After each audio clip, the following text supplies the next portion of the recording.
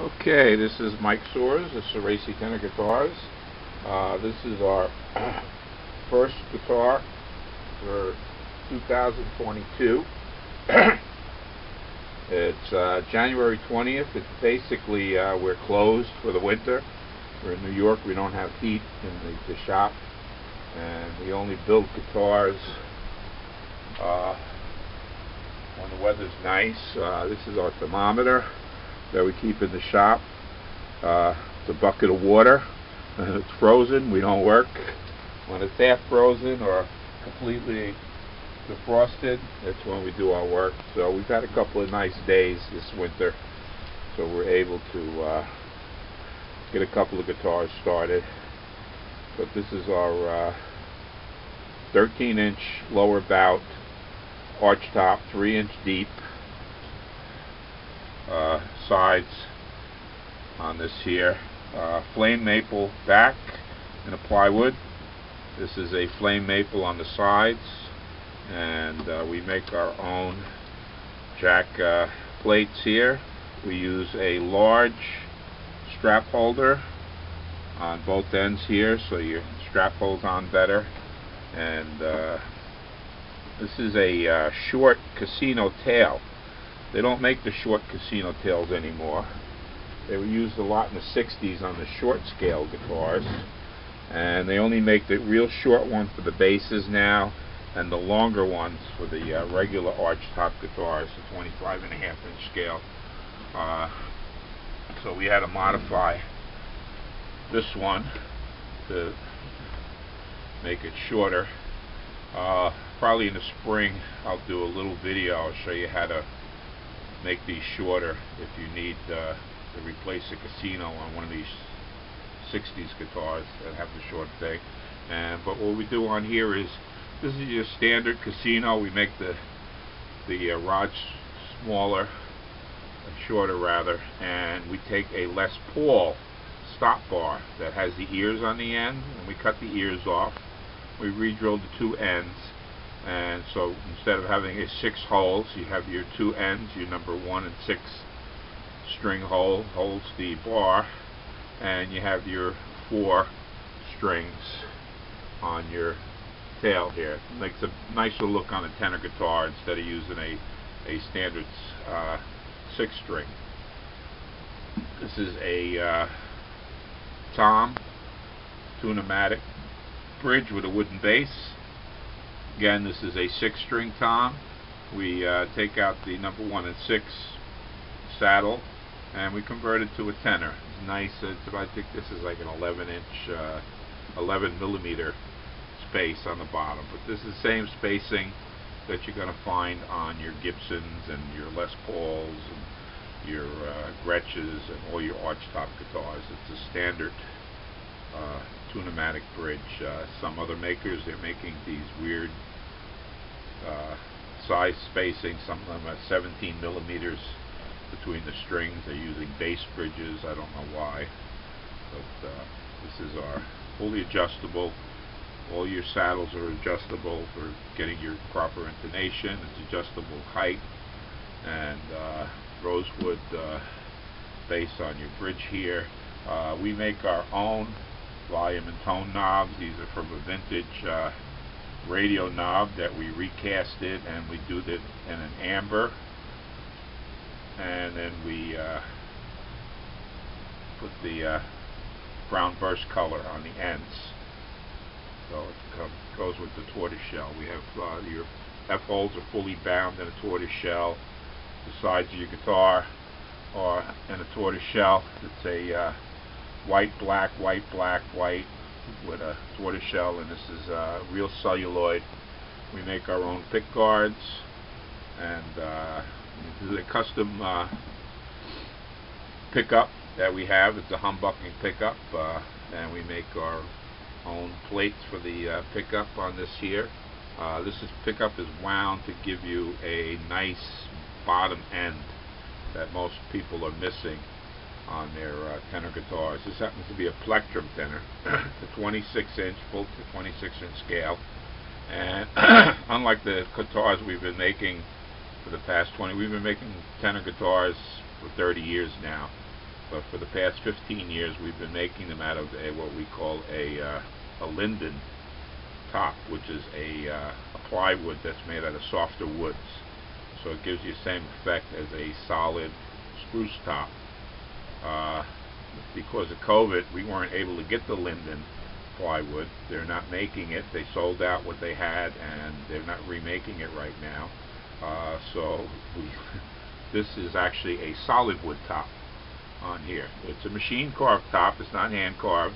It is machine carved, but it is a solid spruce top. Nice, even, straight grain pattern on this here. Book matched.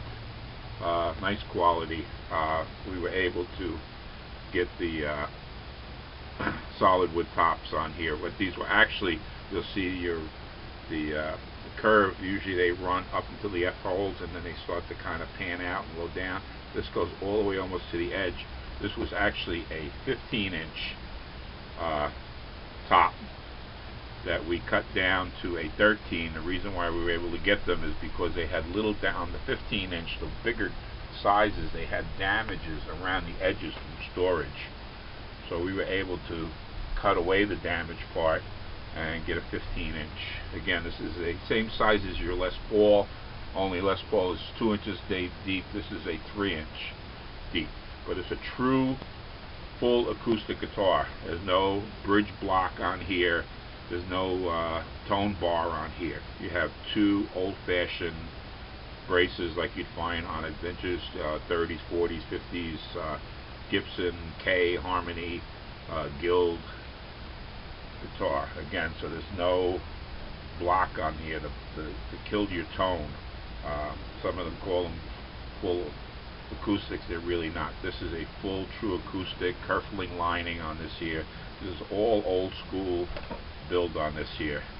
What we've done a little bit different this year, other than the uh, solid spruce top, is we've actually we we changed our bracing so that the bracing is uh, fitted underneath the bridge around your F-hole and the bracing actually goes wider now instead of going straight up your bracing comes out so we no longer have to cut our bracing when we put in our bridges. And uh,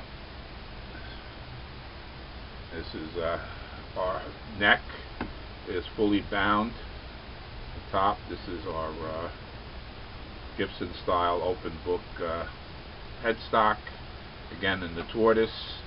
Uh, this is what we call a volute neck. This is a deep V-back neck like you find on a 1930s uh, Gibson uh, banjo uh, before they started using truss rods they used to have the deep V-back necks and very strong nice straight neck uh, fingerboard on this is a Pau Ferro which is a new replacement for rosewood. Very nice wood. Uh, this looks like ebony. Pearl dots, side dots on your uh, neck here. And bone nut. Uh, we use Rotomatic tuners on this end. The customer, this is actually a soul guitar. Uh, and we, the customer asked for Rotomatic tuning tuners on this here, so we gave them the Rotomatic tuners. And again, this is a plectrum. And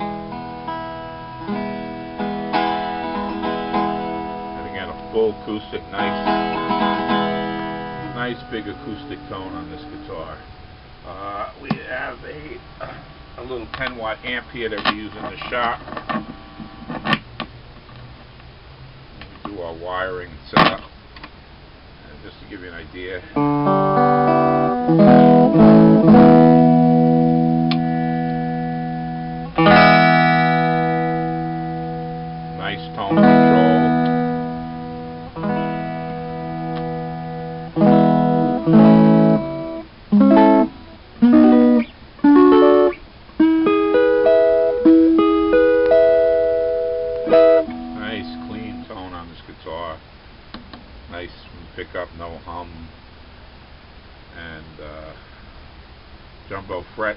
Are all leveled and polished. Uh, two-way truss rod, uh, tortoise uh, truss rod cover that we use on here. We try to go a little old school on this here. If you look at this, you'll see that we used all slotted screws on this here. The only place you're going to find one Phillips screw is under here that holds the uh, pick guard on. We didn't have that the proper size that we needed for the pick guard holder, so we had to use a Phillips screw. But even on your tuners, on the, the backs here, uh, the slotted screws, they do have Phillips screws on your uh, your knobs. That's the way they come. But uh, we used all slotted screws. And uh, again, this is uh, comes with a uh, hard case. Uh, we'll be building eight of these, and uh, we have them in a three inch. This is our three inch. We also have a a two inch. I don't know if I have one available, but uh, we're going to have a two inch in the blonde, and we're also going to have a burst. Uh, we have three of the burst in the three inch deep. And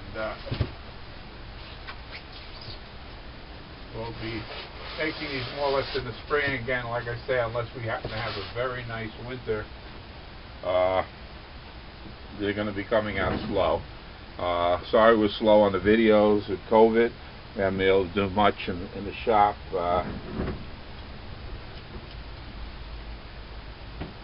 hard for us to get materials and different things. And we're also going to be building some some Tele tenors. Uh, we use a left-hand head on this here. This is a right-handed guitar, and so it's bound. We have these in a couple of different colors. These are going to be made in a red, a blue, an orange, and in a seafoam green but they're going to be limited to about two of each on that this year. Uh, we, we build them here in our shop. We build them one at a time. And uh, so we have a bunch of Tele tenors that'll be coming out along with the arch top. Again, this is Mike Soares. That's Racy Tenor Guitars. Thank you.